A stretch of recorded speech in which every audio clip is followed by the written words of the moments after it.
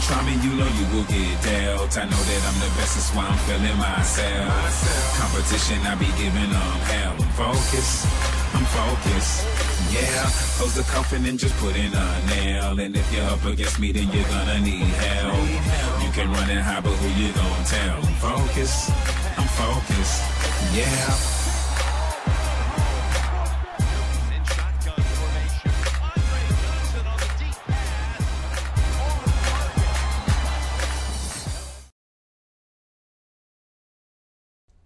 What up, what up, what up, YouTube family and 4L Nation. AI the MUT Mechanic coming back to you with another video.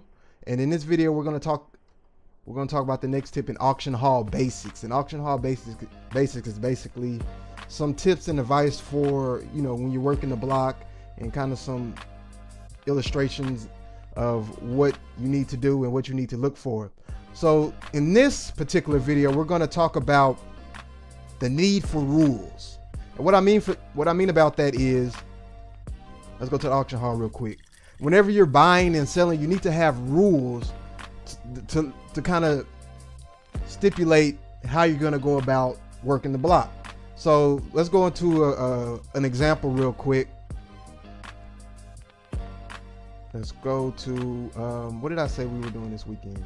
Oh, I said uh, Rising Stars.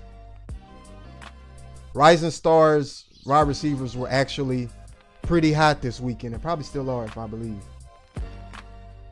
Let's uh, get the auction browser category set up correct. Rising Stars. All right, so now the need for rules. So basically, what you see now is I'm looking at Cordarrelle Patterson, Mike Evans, and Malcolm Sanu. I think his name is Malcolm Sanu. I'm sorry, uh, I don't know his name, but excuse me, and and Dante Moncrief. So, what you want to do is, see, I have a rule. My rule is, I only if I'm if I'm buying and selling, I only want to buy cards that's about 3k or less, and I'm gonna sell those cards between 65 and 8500. That's my rule. So, uh, couple with sniping, let's see if we can uh, go ahead and refresh a little bit, see if we can get some good deals coupled with that, that that mandates that I'm gonna get at least four, three to four thousand dollars, well not thousand dollars, three or four thousand coins profit each time I I buy and sell a card. So that's a rule I have. Now, depending on the rarity of the card, I might change the rule. I might buy one for like 4,500. See, like these, um, I don't see too many of these Malcolm Sanu's or Sanu's. I'm just gonna call him Sanu since I don't know his first name. I don't see too many of these Sanu's up right now. So what I might do, and see, look, he's going for he's going for about 85, 9,000. So what I might do is I might go 45 and I might sell them for 85. You see what I'm saying? So you have to have rules to kind of stipulate how you want to move across the auction block you're buying and selling. So I would just keep refreshing, keep refreshing, keep refreshing, and try to snipe me a, a 3,000 coin or less card Hopefully it'll be a Sanu, but anything else, I guarantee I'm gonna be able to sell it for at least 3,000 to 4,000 coin profit at the minimum. So that's the rule I set for myself. Um, and this could apply to any card. The first thing you have to know in, in creating rules is you have to know the market. You have to know the value of these particular cards. Now, for wide receiver cards, long pass and goal and uh, ground and pound chemistries go for the premium. I mean, right now you see them for low.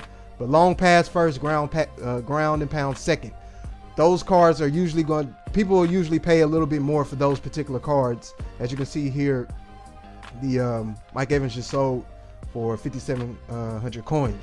But yeah, those cards go for a premium. So I can maybe I can put that up for a little bit. It might not sell immediately, but I know in the next hour or so it will definitely sell. So you definitely got to have rules to stipulate how you buy and sell. Another another illustration of rules is I told you guys I was looking for that. Um, I was looking for uh, what's his name? Atwater. I was gonna get that Atwater this weekend, which I got him. That's why the coins are so low. So let's see how much he's going for. He's going for about 333. I got him for about 330, which is cool. Um, I should have got him Saturday morning because he was like 270, but I kind of held off because I thought that was the price he was normally gonna float around.